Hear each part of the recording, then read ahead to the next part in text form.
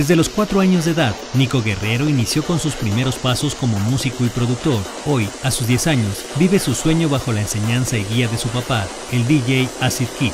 Como a los cuatro años que comenzó mi gusto por la música, ya que mi papá es Acid Kid, bueno, también un DJ. Y bueno, yo desde pequeñito me subía con mi papá al escenario para hacer efectos y hacer, bueno, cosas muy pequeñas, pero ya al ir creciendo fui agarrándole la onda y ya hace un año, que ya casi se va a cumplir un año, de que comencé a tocar solo. Su papá ha sido su maestro y guía. Le ha enseñado a producir, mezclar de teoría musical y mercadotecnia. Además es su representante y su mamá su manager. Pues bueno, desde chiquitito mi papá tiene viniles, eh, mezcladoras, eh, CD players y también como nos patrocina Native Instruments, él siempre usa computadora, controladores, eh, mezcladora o a veces iPad con un, con un programa especial para mezclar. Y yo siempre lo que hacía era con un controlador empezar a hacer efectos con una como pantallita y de ahí fui progresando hasta que, bueno, mi, papá me enseñó a mezclar ah, y ya ahorita mismo sigo tomando clases producción con él. Nico tocó por primera vez solo hace aproximadamente un año en el Festival Yolotl, que desde hace varios años se realiza en Teotihuacán. Señaló que en los espectáculos a los que va tiene contacto con otros DJs, con quienes platica, recibe felicitaciones y le dicen que siga progresando. También le hacen recomendaciones musicales o de lugares a donde llevar su música. Bueno, sí, he tenido contacto con muchos eh, y siempre todos me dicen que, muy bien y que pues siga progresando. Bueno, eh, de los festivales muchísimo más grandes que las demás fiestas a las que toco normalmente está el YOLO, el festival de mi papá, que se va a realizar el 16 y 17 de junio en Teotihuacán. Eh, voy a tocar de 10 a 11 en el escenario principal. Nico, como todos los niños, tiene otras actividades explicó que va a la escuela, en donde también sus amigos le expresan su apoyo y gusto por tener un compañero músico, de donde sale a las 4 de la tarde y de ahí se va a la academia de música de DJ que tiene su papá.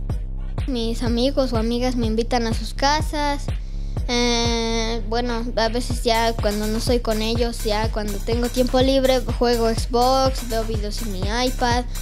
Y también a veces siempre en la escuela, en el recreo, mis amigos y yo siempre platicamos voy a la escuela, normalmente salgo a las dos y media y me quedo un rato más hasta las 4 de la tarde. Después de eso, voy, bueno, voy a la academia de mis papás porque ahí siempre tengo que estar para hacer tarea que me falta o cosas así.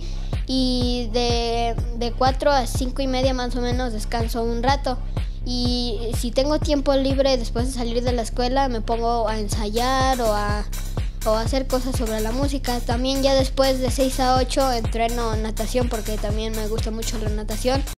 Orgulloso de su hijo, César Guerrero Acid resaltó que el gusto de Nico por esta música viene del estilo que él y su esposa tienen por la escena electrónica y que desde antes de nacer, Nico mostraba emoción y reaccionaba a este género, algo que sin duda ha influido en su rápido aprendizaje.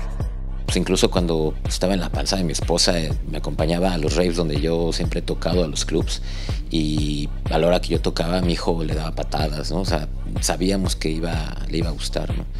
Pero la forma en que él ha vivido, que diario escucha música electrónica desde muy chiquito, se empezó a subir a, los escenarios con, con, tu servidor y empezó a tocar algunos controladores eh, poniendo percusiones, pero me di cuenta que las ponía exactamente, o sea, al, tiempo. Entonces tenía, tenía la habilidad de la, de, la parte de, de, los tiempos, sabía cómo se contaba un, cuatro tiempos, este, entonces nos dimos cuenta que empezaba a, darse cuenta y no le daba miedo el escenario frente a mucha gente. Conforme fue creciendo, eh, se, se, fue interesando y cada vez le gustaba más. Y entonces ya empezaba a tocar conmigo y ya fue cuando, como a los 7, 8 años, este, le empecé a este, enseñar a, mezclar.